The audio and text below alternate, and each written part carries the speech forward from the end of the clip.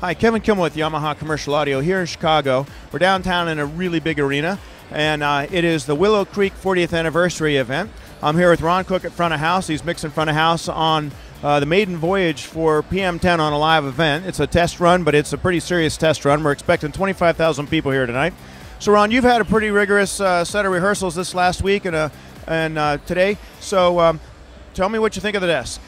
Uh, I think it's great. The first things I'm really love, of course, is the silk. Um, just the smoothness that it provides, and the I mean, you can just turn it on, tweak it up a little bit, and you almost feel like you're 40% there with whatever the source is before you've done anything else. Um, the uh, a lot of the plugins are great that you can put them anywhere. All the new ones, the uh, the Neve EQs and compressors are great.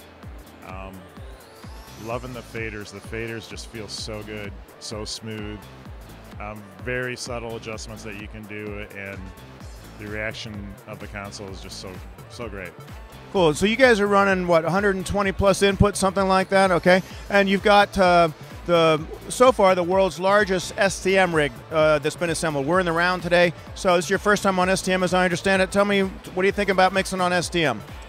Uh, so far it's felt really smooth. Um, I was kind of prepared to like having to deal with some stuff and work harder, and for the most part, it feels like I've just been able to walk up and start mixing, and it's uh, been a wonderful thing. Cool. What was okay? So, what was your very first impression when you first walked up to Rivage, and and you had to figure it out and lay get the lay of the land? Did it come to you pretty quickly?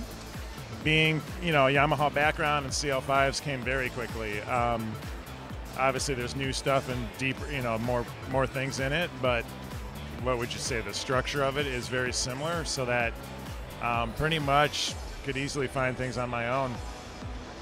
Cool.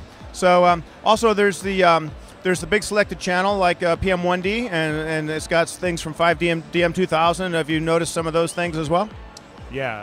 Um, it, although it's not in the same ar- arrangement like the 1D, you do have a selected channel with all the uh, tactile knobs and stuff, and um, taking me a little bit to get used to it. But once I'm on it, it's it, everything's right in front of you and just you know right at your reach. Pretty intuitive. Very intuitive. Yeah. Great. Thanks. Until next time. Signing off.